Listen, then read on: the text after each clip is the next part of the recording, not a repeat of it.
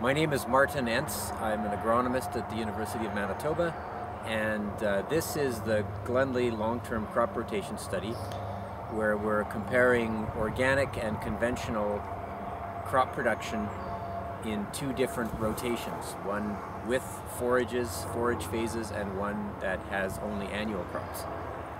So uh, we started this rotation in 1992, so the crops that you're looking at here are the 18th organic crops grown on this land.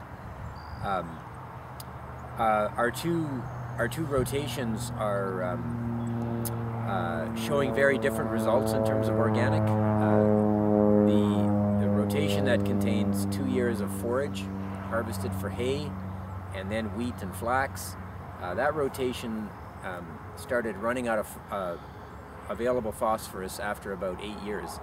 And of course now we're in year 18, so uh, what we've learned is that uh, returning some compost uh, to those lands where we've removed the phosphate uh, is really important. And behind me, you can see a, a, crop of wheat. The front half, uh, this is wheat in the rotation that contains forage, hay, and the front half is not treated with um, compost, and you can see the wheat crop is rather small, and the back half uh, is treated with compost, uh, and you can see the, the results are quite dramatic. Um, the other thing that's notable about this rotation um, that contains the forage phase for two years and then wheat and then flax is uh, the weed pressure is quite low. If you look at this wheat crop, there are virtually no wild oats. Whereas the organic system that only has annual crops uh, suffers very much from wild oats. So um, what we've learned is that the integrated rotation with uh, hay crops is, is much, uh, much better at controlling both Canada thistle and, and wild oats.